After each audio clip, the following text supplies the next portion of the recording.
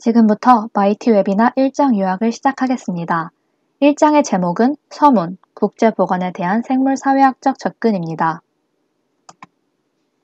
화면에 보이는 그래프는 국가를 국민소득으로 무리지어 살폈을 때의 장애보정 수명 순위로서 세계보건기구가 2004년에 고소득 국가와 저소득 국가를 비교한 자료입니다.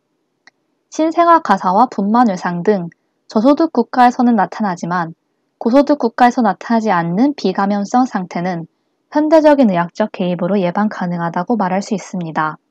또한 고소득 국가와 저소득 국가 사이에서 나타나는 건강 불평등 양상을 보여주는 대표적인 자료로서 국제보건은 이를 해소하기 위해 노력해야 함을 시사하고 있습니다.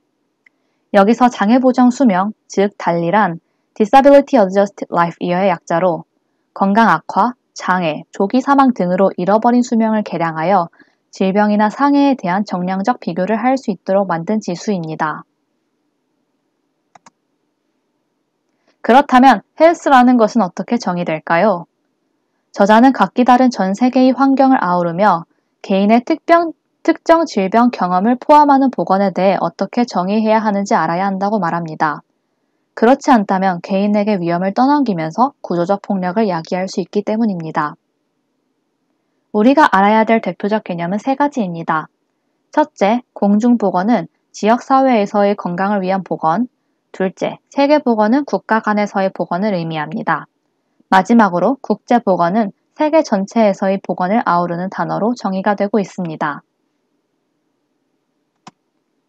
저희가 웨비나를 하는 국제보건 실태의 재조명이라는 책은 국제 보건의 평등을 추구하기 위해 맞서야 할 주된 도전과 복잡성 소개라는 목표를 가지고 있습니다. 이를 제대로 완수하려면 최신 데이터를 가지고 해석해야 한다고 생각합니다. 따라서 책에 소개된 2004년 자료가 아니라 WHO 등을 통해 최신 자료를 구해 과연 국제보건에 대한 지난 10년간의 성과와 앞으로의 미래가 책과 어떻게 다르고 어떻게 나아가야 할지 생각해 보셨으면 좋겠습니다. 감사합니다.